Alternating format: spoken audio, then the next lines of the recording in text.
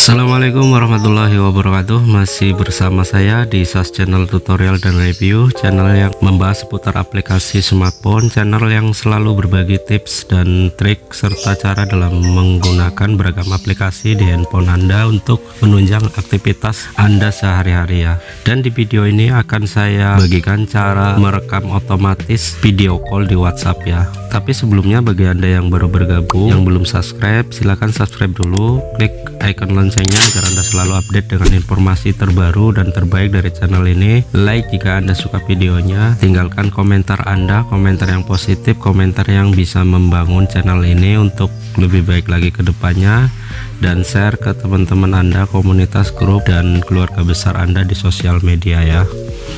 Oke teman-teman sebenarnya untuk melakukan perekaman video call di handphone saya udah ada aplikasi bawaan ya atau fitur bawaan dari handphone yaitu perekam layar atau screen recorder ya. Ini sudah tersedia di sini ya. Jadi sebenarnya tidak perlu menginstal aplikasi perekam layar ya. Tapi jika di handphone anda tidak ada aplikasi bawaan screen recorder atau perekam layar saya merekomendasikan anda memakai aplikasi auto video call recorder ya seperti ini ya.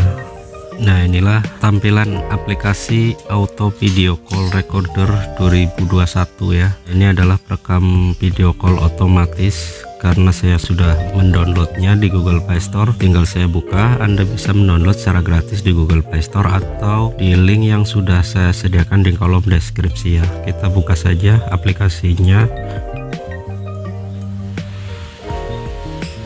Tampilan awal seperti ini kita klik start lalu kita klik izinkan.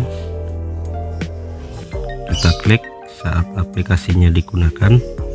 Kemudian kita klik start lagi lalu kita klik tanda plus ini untuk memilih aplikasi apa yang akan dipakai untuk uh, perekaman otomatis ini. Kita pilih aplikasi WhatsApp ya. Lalu kita back. Kemudian kita klik WhatsApp. Kita pilih yang normal. Dan kita pilih start kita mulai ya kita mulai melakukan panggilan video call ya. Kita cari kontak yang akan kita tuju. Lalu kita panggil ya di sini.